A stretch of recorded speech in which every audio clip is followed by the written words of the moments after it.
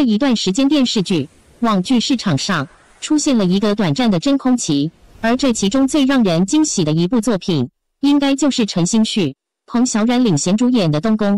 网剧《东宫》是根据匪我思存同名原著小说改编，小说的影响力应该算得上中等水平。《东宫》陈星旭饰演李成银，但剧版《东宫》上映之前，却并未引起太大的反响。其主要原因，自然是领衔主演陈星旭、彭小苒二人在娱乐影视圈可以称得上默默无闻。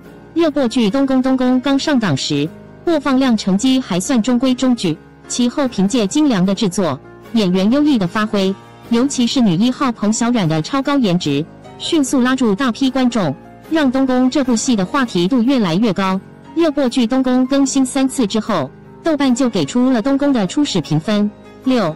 六的分数，在近期的电视剧、网剧中也算得上出类拔萃。而更让人意想不到的是，短短几天之内，东宫的豆瓣评分一涨再涨。不过几天时间，现在东宫的评分已经上升到七一。东宫对影视剧豆瓣评分生态稍有了解的人都会知道，不论电影还是电视剧，在短时间内分数上涨零五，绝对算得上是难得一见。绝大多数作品。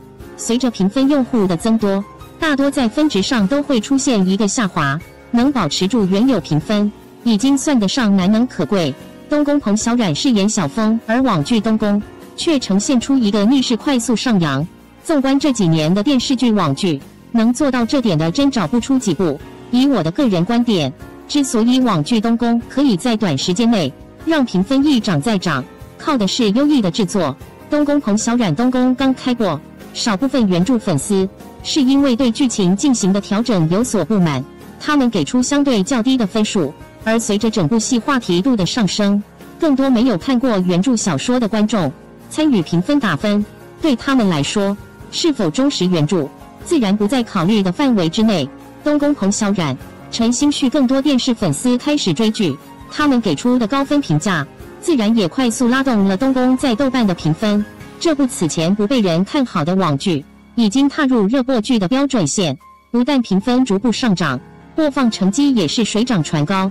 东宫随着播出的逐渐进行，制作方在东宫这部剧上花的心思也收获了回报。确实，陈星旭所饰演的李成银外形讨喜，演技也出色，而彭小苒扮演的小峰自然更是光彩夺目。不过，能让东宫评分一涨再涨的，还是扎实的剧本。用心的制作，精益求精的服化道具。东宫陈星旭现在东宫的剧情发展情节上达到第一个高潮。李成银和小峰二人失去记忆，回到中原之后，经历一系列的朝堂阴谋。李成银终于挫败了太子的诡计，就要实现自己的野心。而彭小苒饰演的小峰，也逐渐从一个清纯浪漫、懵懵懂懂的小女孩，逐步了解到皇宫朝堂的险恶。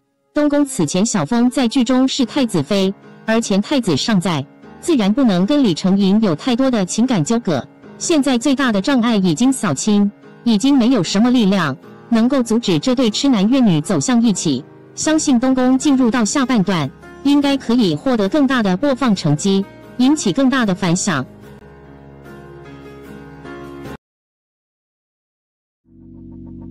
Take a, take a, take a, take a look